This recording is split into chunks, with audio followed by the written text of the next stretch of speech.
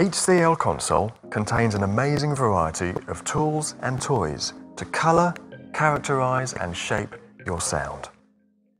See them in the virtual rack. There are now three racks for extra processing. The GEQ rack, the Effect rack and the new Premium rack. Premium rack is packed with extra high quality EQ and dynamics featuring Yamaha's acclaimed VCM technology. That's virtual circuitry modelling. This is one of the most exciting features of the CL series.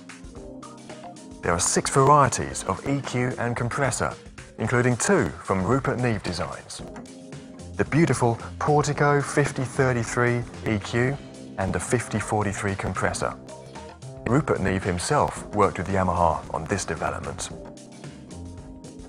The other rack devices are also faithful recreations of classic studio equipment. Every aspect of the device's behaviour has been thoroughly modelled, even non-linear stuff like transformer performance. You can add their unique colour to the sound just by inserting them. It's lovely. The effect rack features eight units offering a choice of 46 types of ambience effect including the gorgeous Rev X.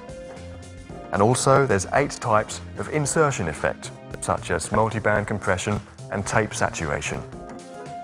Many of the special reverbs and so on have been newly tuned for live applications, providing instant niceness and usability without the need for tweaking. The Graphic EQ rack contains 16 units of Graphic EQ.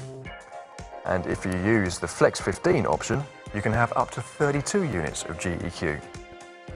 Also, some of the effect racks can be turned into graphic EQ. Using these powerful tools, a sound engineer can quickly and accurately shape and colour their sound.